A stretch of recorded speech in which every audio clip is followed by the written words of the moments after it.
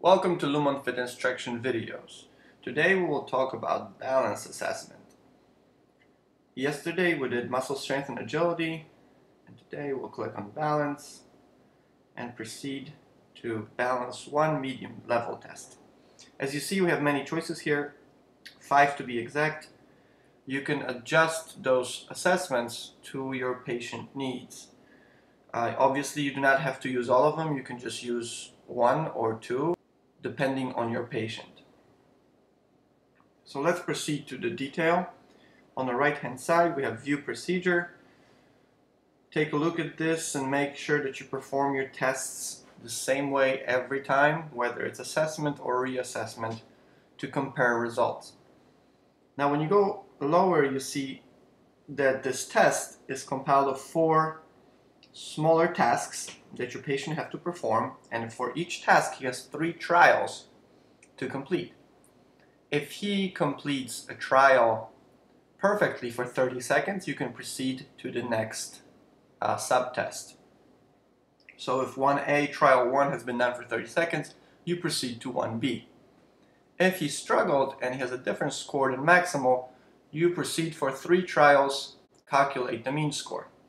So I'm going to press start on the total time here and trial one. So I have my patient standing in front of me with eyes open on firm surface on two feet and I measure the time.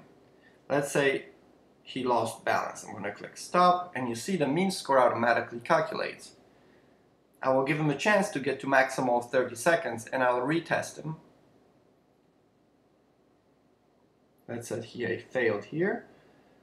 As you see, the mean score will be adjusted depending on how much time he spent on each trial.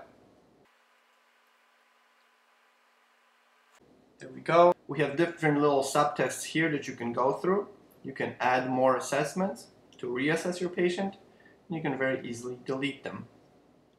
Balance 2, advanced level, has a little different tasks to perform for your patients. If you look into it, you'll see them in detail. Again, it has a procedure, same way, same setup as far as the time goes. Then we can proceed to modified star excursion test. And again, you can view the procedure, see how it's done, mark your answers, whichever are correct for your patient, add more assessments, delete them,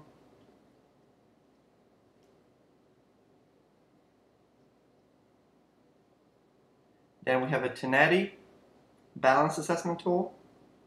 All the questions here are explained while you're answering them. So you can see that the first one is a sitting balance and you answer the questions while looking at your patient. While you answer your questions, the score is automatically calculated in the bottom. Second part of this assessment is a gait section. Again, you mark your answer while your patient is moving and the total score will be calculated in the bottom later on displayed on progression report. And let's go to the Berg test. It's the same kind of deal, view procedure. You can answer all the questions while your patient is performing the tasks you ask him to perform.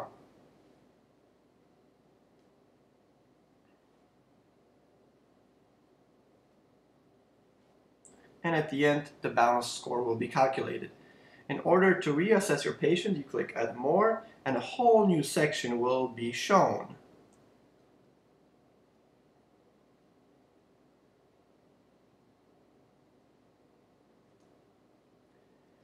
And this is balance assessment in Lumon Fit.